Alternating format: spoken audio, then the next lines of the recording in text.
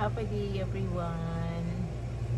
Gagawa ko ngayon ng easy version ko ng salted egg salad.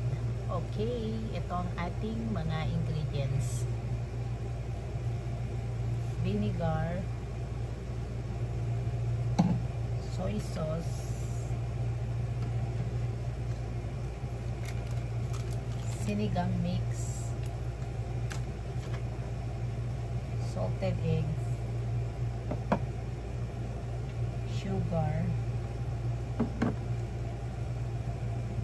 ground black pepper,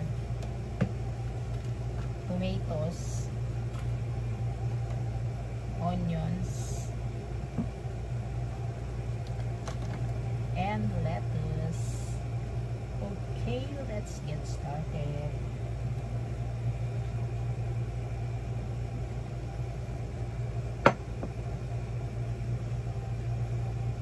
Paghalu-haluin lang natin lahat ng mga ingredients.